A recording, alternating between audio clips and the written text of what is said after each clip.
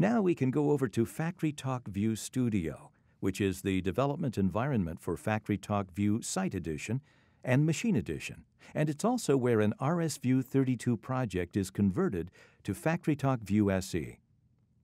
For purposes of this demo, we will create a new network station application. As you can see, FactoryTalk View Studio allows you to create multiple types of applications, including Network Distributed, which is a multi-client, multi-user application with components of the application running on different machines. Network Station, which is a single client application with all components running on one machine, but with the ability to connect to system components on remote machines. Local Station, which is a single client application with all components running on a single machine. And View Machine Edition, which is an application that runs on either a PanelView Plus terminal or on a PC running FactoryTalk View ME Station.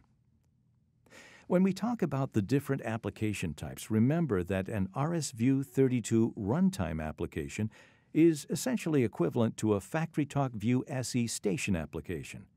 And an RSView 32 active display server application is the equivalent of a FactoryTalk View SE network distributed application.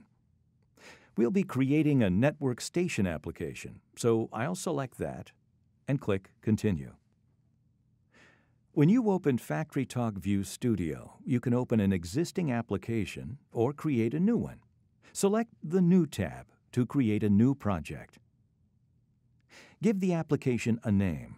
Let's call our project Project Conversion, one word. Click Create to create a new FactoryTalk View SE project.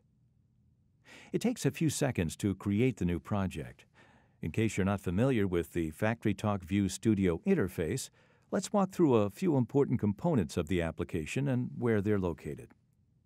The Explorer window contains all the components of a FactoryTalk View application.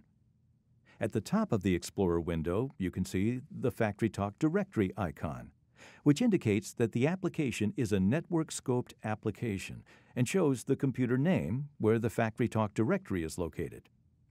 In our case, the directory is local, so we see local host. Below that are the FactoryTalk View application folder and the system folder.